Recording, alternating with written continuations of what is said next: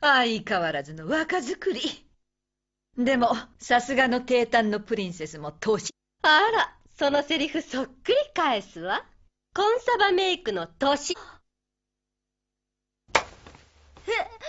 う、ユキちゃん、久しぶりうんうん、元気してた。10年ぶりかしら。エリちゃんが小五郎君と別れる前だから。バカね、まだ別居中。